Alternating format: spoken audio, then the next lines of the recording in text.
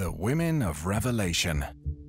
Number 1. The Woman Clothed with the Sun. The book of Revelation is the final part of the Bible. It's full of symbols, striking images, and deep secrets, showing us how good wins over evil in the end. One of its key themes is how women are shown in the story. This invites us to look closely at their roles and what they symbolize in this complicated story. The woman in the book of Revelation, described in Revelation 12 verses 1 to 6, is a fascinating and symbolic figure in the Bible. Her description, symbolism, interpretations, and role in the story. In Revelation 12 verses 1 to 2, the description of the woman is very clear and detailed. And a great sign appeared in heaven a woman clothed with the sun, with the moon under her feet, and on her head a crown of twelve stars. She was pregnant and was crying out in birth pains and the agony of giving birth. This part is unique and unusual. The woman is described as wearing the sun like a dress and standing on the moon, which makes her seem like she's from the sky or has godlike qualities. This symbolizes the light of God's truth, the foundations of faith, moon under her feet, and the authority of God's chosen people, crown of stars, which can also be interpreted as the 12 groups that make up Israel or Jesus' 12 followers. Because John plainly said this is a great sign, we don't foresee this woman to appear literally on the earth, God will use this sign to communicate something to John and to us.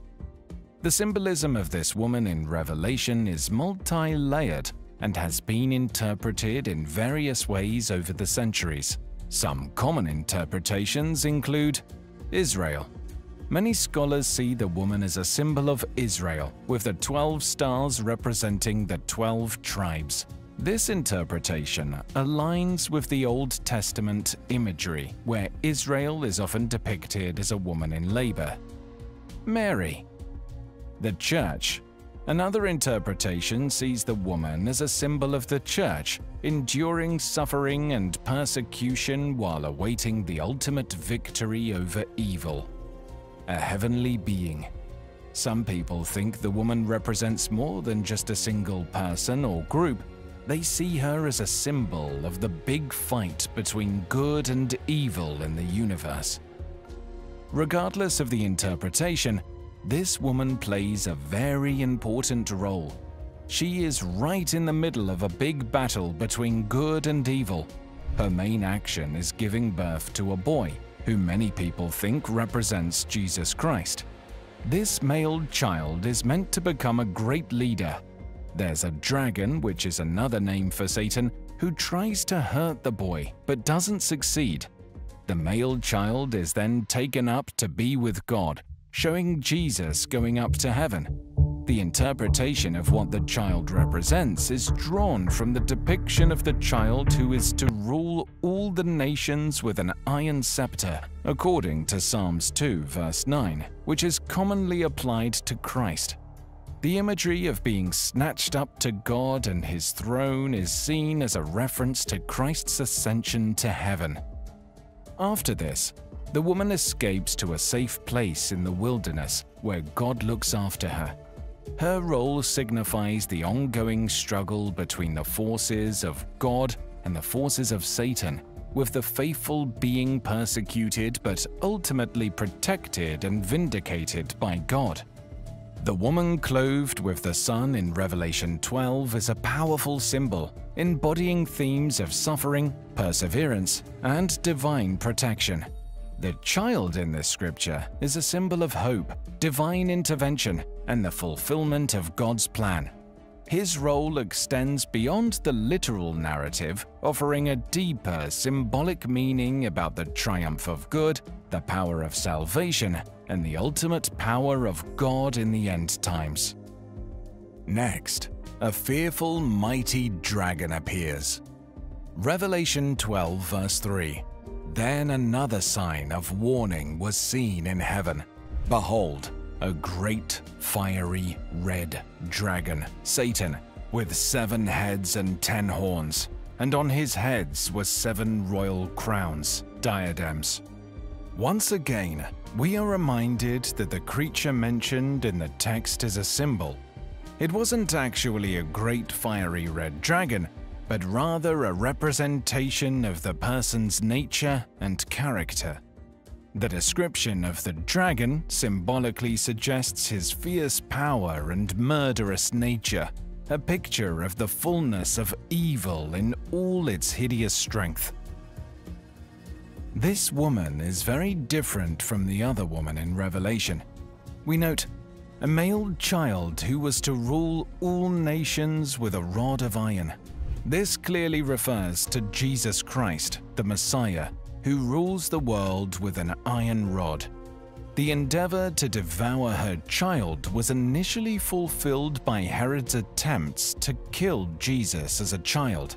It was also fulfilled during the entirety of Jesus' life when Satan attacked him. The child.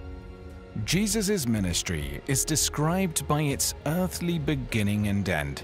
She bore a male child who was to rule all nations with a rod of iron, and her child was caught up to God and his throne.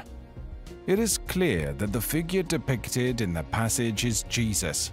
Therefore, the woman mentioned in Revelation 12 verse 1 cannot symbolize the church as Jesus is the one who gives birth to the church, not the other way around. Hence the woman must represent either Mary or Israel, the only two entities who could have given birth to Jesus. Further analysis of Revelation 12 reveals that this woman is indeed Israel and not Mary. Number 2. The woman of Babylon. The woman called Babylon the Great in the Bible is described as wearing purple and red clothes and being covered in gold, jewels, and pearls. She is holding a gold cup filled with all forms of atrocities and the filthiness of her fornication. This description makes us think of someone wealthy and lives in luxury, but who also does things that are morally wrong. This figure symbolizes a corrupt system or entity that leads people away from God. She's often interpreted as representing false religion, worldly power, or moral decay. And the woman which thou sawest is that great city, which reigneth over the kings of the earth. Revelation 17 verse 18.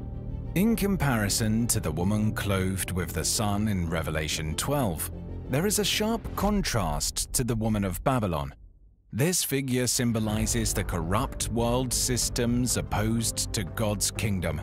She is shown as riding on a beast, which shows she is connected with the forces that cause destruction. She serves as a warning against seduction by worldly power and corruption, urging believers to stay true to their faith. The end of the mysterious woman of Babylon is told in Revelation 17 verse 16. It says that the ten horns on the beast will turn against her, leave her with nothing, hurt her, and destroy her with fire. This is a way of showing that all the bad and corrupt things she stands for will be destroyed in the end. It also means that the bad leaders and the wrong things they do in the world will eventually cause their own downfall. The Whore of Babylon is a metaphor for the seductive allure of sin and the temporary nature of earthly power and riches. Her fate serves as a warning about the eventual downfall of systems and entities that oppose God's ways. It teaches that what is morally corrupt and against God's principles will not endure. This passage, like many in Revelation, uses symbolic language to convey spiritual truths and its interpretation can vary among scholars and religious traditions. The key takeaway is the contrast between what is righteous and unrighteous and the ultimate triumph of good over evil. Number 3. The Bride of Christ The Bride of Christ is a profound and symbolic concept in the Bible, mostly talked about in the book of Revelation, it's like a picture that shows the church as a bride getting ready for her groom, Jesus Christ. This means everyone who believes in Jesus is part of this bride, all together getting ready for Jesus. In Revelation 19, verses 7 to 9, the Bible says, Let us rejoice and be glad and give him glory, for the wedding of the Lamb has come, and his bride has made herself ready. Fine linen, bright and clean, was given her to wear. Fine linen stands for the righteous acts of God's holy people. Then the angel said to me, Write this Blessed are those who are invited to the marriage supper of the Lamb. In these Bible verses, it's like the church is getting ready for a very special event. The church is described as being cleaned and made holy, all set to join together with Jesus. The fine, bright clothes they talk about are like a picture of how good and right the actions of the church's people are. Revelation 21 verses 2 and 9 further illustrates this concept, where John describes a vision of the New Jerusalem, saying, I saw the holy city, the New Jerusalem, coming down out of heaven from God, prepared as a bride beautifully dressed for her husband. And, Come, I will show you the bride, the wife of the Lamb. Here, the New Jerusalem is also portrayed as a bride, signifying the final and complete union of the Church with Christ in a new, perfect, and eternal dwelling. The marriage supper of the Lamb is like a big special dinner party that stands for the happy time when Jesus Christ comes back and joins together with the Church. It's like a big celebration that shows God's promises coming true the end of all the hard times on earth, and the start of a forever happy life with Jesus. The Bride of Christ concept emphasizes the intimate and profound relationship between Jesus and his followers. It conveys the idea of purity, commitment, and readiness for Jesus' return. The marriage supper symbolizes the ultimate celebration of this divine union a moment of great joy and triumph for believers who have remained faithful. This imagery encourages Christians to live righteously in anticipation of being part of this glorious event. At the heart of Revelation are female figures, the woman clothed with the sun, and Babylon the Great, the woman clothed with the sun introduced in Revelation 12 verse 1. Another noteworthy mention is the Bride of Christ, representing the collective body of believers awaiting the return of Jesus. Through these depictions, Revelation invites us to reflect on the broader themes of redemption, judgment, and the ultimate fate of humanity. The women of Revelation are not just characters in a story.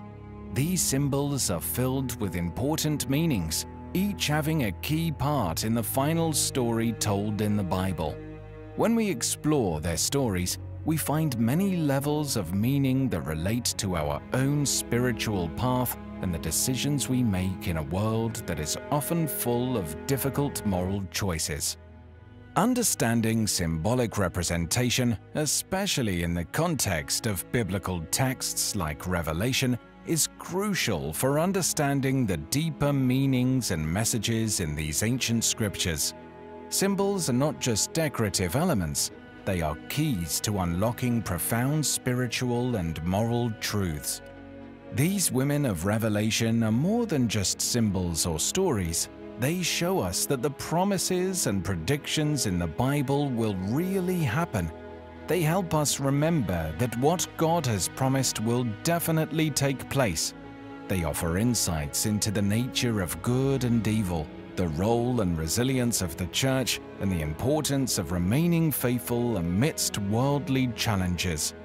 Understanding these symbols is essential for a deeper comprehension of the biblical narrative and its relevance to both historical and contemporary contexts. Let us pray. Heavenly Father, we come before you today to seek your wisdom and guidance as we reflect on the lives of the women in the book of Revelation.